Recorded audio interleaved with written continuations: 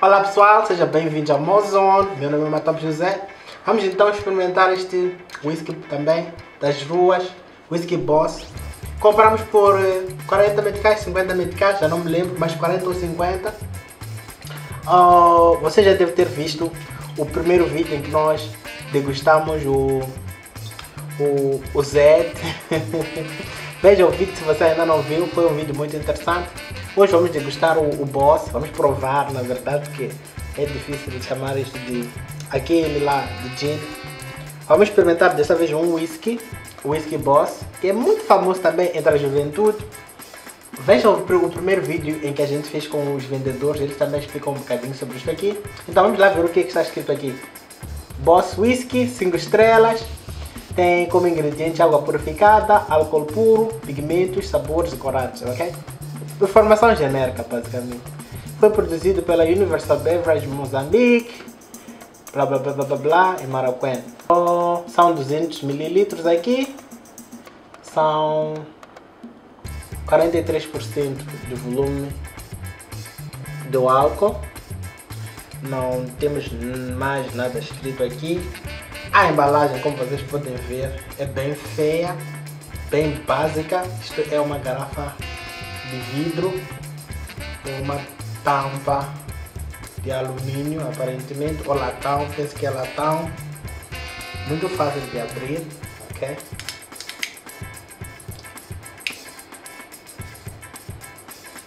Tá tudo certinho aí né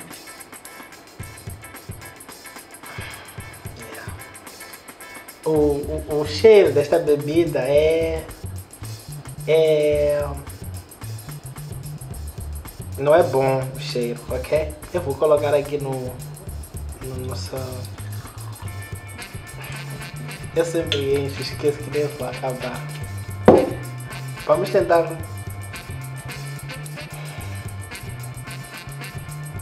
Ok, esta é mais uma bebida que não tem cheiro de bebida como deve ser. Isto não tem cheiro de whisky, ok? Não cheira whisky e mais uma vez não, não é picante o suficiente, ou como é habitual no, no whisky. O cheiro é horrível, horrível mesmo. Tem cheiro de mel misturado com alguma coisa, com chocolate, ok? Então, você consegue perceber essa mistura. Então, provavelmente esses são os tais sabores que eles juntaram ao álcool, o que torna isto até até fico com receio de provar. Fico com receio mesmo de provar. Ah, ok. Este. Ok. yeah, pessoal.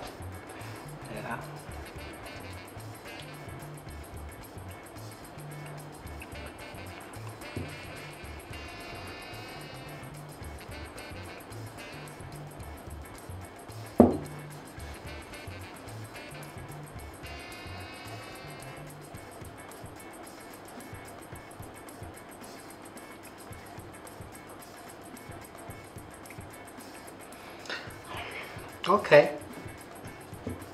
Este é melhor que aquele gin, ok? Isso que o, que o Zed.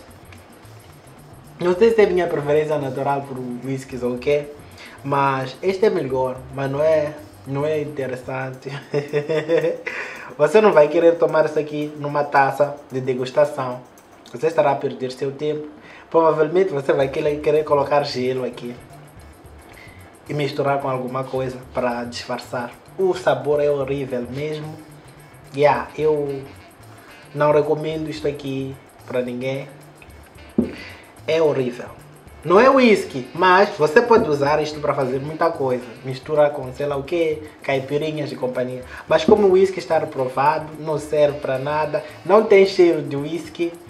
Não, não é mau como bebida. É uma bebida genérica, ok? A mesma coisa que o Zé, são bebidas genéricas que tentaram aproximar-se a whisky e a gin, ok? Mas não é, não é whisky, não perca seu dinheiro aqui a pensar que vai comprar whisky.